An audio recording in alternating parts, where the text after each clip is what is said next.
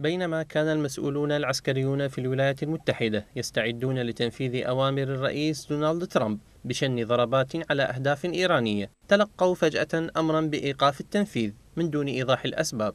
هكذا عبرت مجلة نيوز ويك الأمريكية عن الأوضاع المتوترة في منطقة الشرق الأوسط وعن حالة التردد التي تعيشها الإدارة الأمريكية إزاء التوتر المتصاعد مع إيران.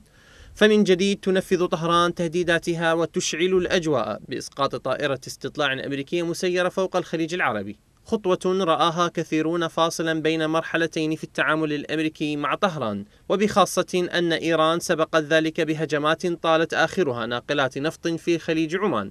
غير أن التراجع الأمريكي عن تنفيذ هجوم عسكري ضد إيران فتح الباب أمام تساؤلات عديدة بشأن جدية إدارة ترامب في حسم خياراتها إزاء سياسات النظام الإيراني.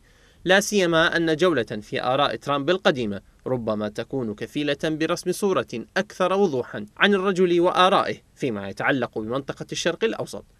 فبحسب موقع ديلي بيست الأمريكي فإن ترامب في العام 1987 هاجم السياسة الخارجية للرئيس الأمريكي وقتها دونالد ريغان.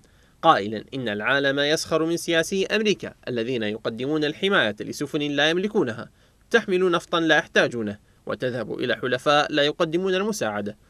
ترامب إذا لا يبالي بأمن الممرات المائية الدولية ولا يهتم بتهديدات إيران وتدخلاتها في شؤون الدول العربية وإنما فقط يريد حسب تصريحاته أن يجبر نظام طهران على الجلوس إلى طاولة التفاوض وإبرام اتفاق نووي جديد يقيد طموحات إيران العسكرية.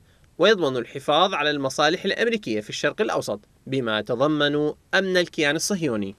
أمام هذا الواقع فإن الولايات المتحدة في رأي مراقبين ربما لن تقدم على تنفيذ هجوم عسكري ضد إيران إلا بالقدر الذي تسمح به مصالحها في المنطقة وبما يضمن استمرارها في استنزاف خيرات حلفائها من خلال تخويفهم من شبح التهديد الإيراني لأرضهم ومصالحهم الحيوية.